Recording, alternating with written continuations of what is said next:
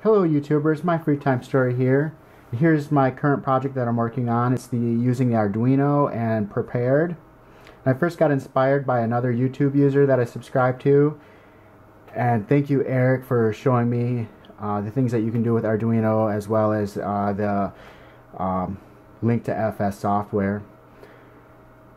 This Arduino project will light up six LEDs, three red and three green but for my purposes right now there's six reds there's three really bright ones that I'm using for another project.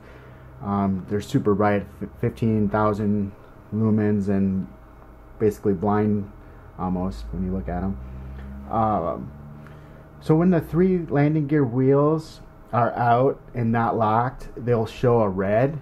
When the three landing gears are, are in the locked and down position the green lights will light up and then the other red lights will shut off. Um, and here and I'll take I'll show you here. I have Flight Sim running now.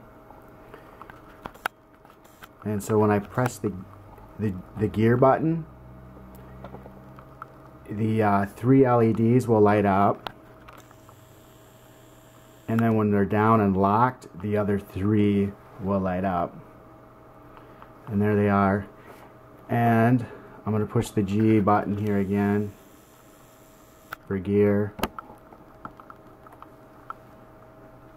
And there's a little bit of a lag but then they'll uh, the three lights will dim and then the other three lights will light up stating that they're in the non-lock position. And now no lights show that the gear is up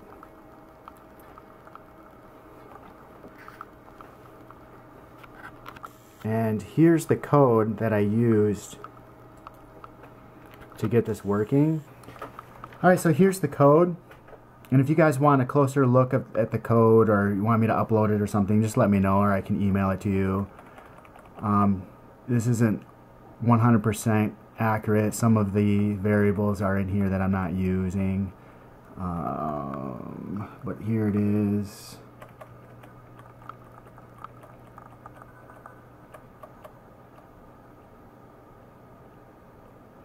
There's the left gear. you're just pulling data from that link FS, Link2FS program.